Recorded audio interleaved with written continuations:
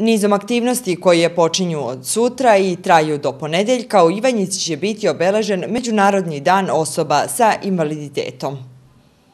Povodom 3. decembra Međunarodnog dana osoba sa invaliditetom, Društvo za cerebralnu paralizu iz Ivanjice organizuje niz aktivnosti. Najpre će u petak u 14 sati u velikoj sali osnovne škole Milinko Kušić u Ivanjici biti organizovana sportska aktivnost u kojima će učestvovati članovi ovog društva njihove porodice, zaposleni i volonteri, a cilj ovakvog skupa je druženje, negovanje saradničkih odnosa, tolerancije i pružanje podrške osobama sa invaliditetom kroz učešće u sportskim aktivnostima zabavnog karaktera.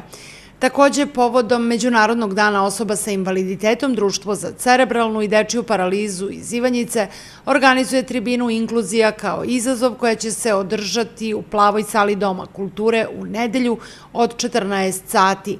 Na tribini će govoriti eminentni stručnjaci iz specijalne edukacije i rehabilitacije, profesor dr. Svetlana Slavnić, redovni profesor Beogradskog univerziteta FASPER, zatim profesor dr. Jasmina Kovačević, redovni profesor Beogradskog univerziteta FASPER, bivši dekan Defektološkog fakulteta. Tim povodom Sanja Lišanin, stručni saradnik Dnevnog centra Sunce, govori o obeležavanju ovoga dana.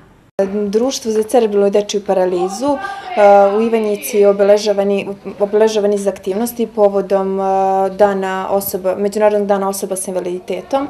Uh, društvo će realizovati neke od aktivnosti kako bismo obeležili dan osoba sa invaliditetom. U petak 1. decembra obeležavaće se sportske aktivnosti u, u sali osnovne škole Milinko Kušić. Sportskim aktivnostima će ovaj, učestvovati korisnici Društva za cerebralnu i dečiju paralizu, roditelji korisnika, kao i volonteri Crvenog krsta Ivanjice.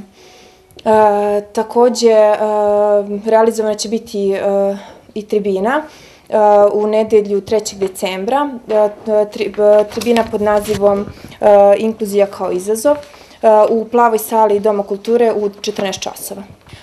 Broj članova koji broji društvo cerebralnu dečiju paralizu jeste 92. Aktivnosti se u Dnevnom centru Sunce sprovode svakodnevno sa decom i mladima. Jedna od aktivnosti jesu kreativne radionice, takođe i radno-okupacijona terapija. U radno-okupacijona terapiji korisnici rade na razbojima, izradi nakita, šalova, ponča, kapa.